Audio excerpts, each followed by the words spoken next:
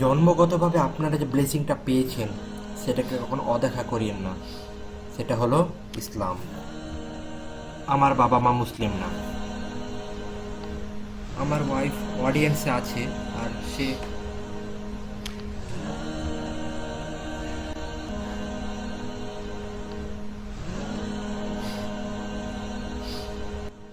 সে জানে আমি আমার বাবা মাকে কত ভালোবাসি।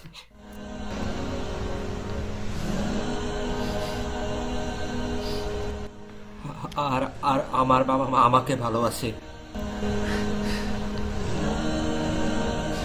প্রত্যেক দিন আমার বাবা আমাকে বলে, আমি তোমাকে ভালোবাসি। জন্মগতভাবে আপনাদের মধ্যে অনেকে তো বাবা মাকে মুসলিম হিসেবে পেয়েছেন।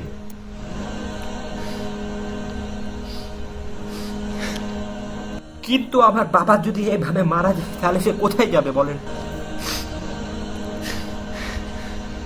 আপনি আপনার বাবার জন্য দোয়া করতে পারবেন যখন সে মারা যাবে, কিন্তু আমি আমি তো পারব না।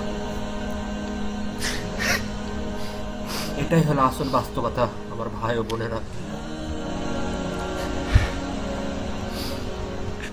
এটাই হলো বাস্তবতা আমার ভাই বোনেরা।